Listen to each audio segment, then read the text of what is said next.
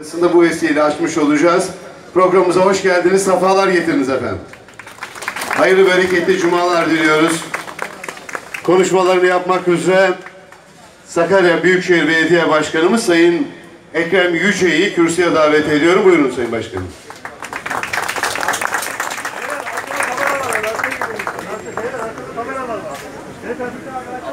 Arkada kamera var arkadaşlar.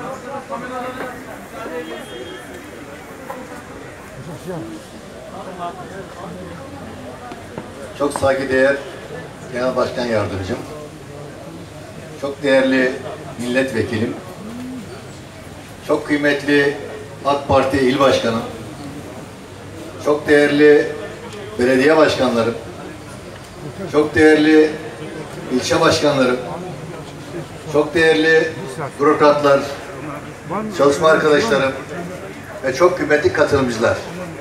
Her birinizi bu güzel cuma gününde, bu mübarek günde Cenab-ı Mevlam'ın rahmetiyle, bereketi, bereketiyle, selamıyla selamlıyorum. Allah'ın selamı üzerinize olsun.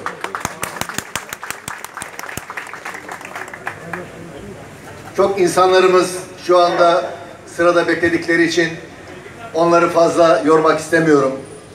O münasebetle sözlerimi birkaç kelimeyle topla, toplamaya çalışacağım, toparlamaya çalışacağım.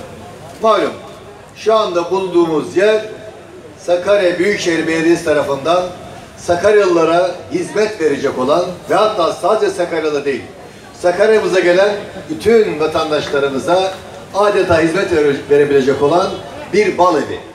Kontrollü ve de hijyenik ve tamamen tallerden geçmiş güvenle yiyebileceğimiz yayla, kestane, kır, ılamır, akasya ne tür cins bal istiyorsanız balların merkezi şu anda burası.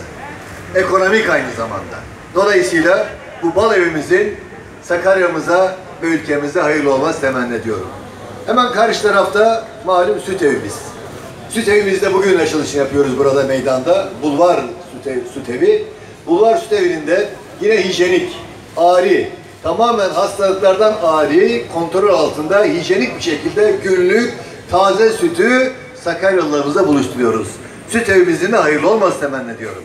Bunun yanında bir yandan süt evlerimiz, bir yandan bal evlerimiz, buralar merkez, bir yandan et evlerimiz, bir yandan yumurta evlerimiz, yakında inşallah çikolata evlerimiz de geliyor. Vatandaşlarımızın gerçekten temel gıda maddeleri ve en çok tüketilen gıdalarımızı vatandaşlarımıza en sağlıklı, en ekonomik şekilde sunmak üzere seferber olduk. İnşallah sizlerin desteği ve katkılarıyla bu faaliyetlerimiz devam edecektir. Bu konuda bize destek veren siyasilerimizden genel başkan yardımcımıza, milletvekilimize, il başkanımıza, belediye başkanlarımıza, çalışma arkadaşlarıma ve hayırsever vatandaşlarıma huzurlarınızda şükranlar arz ediyorum.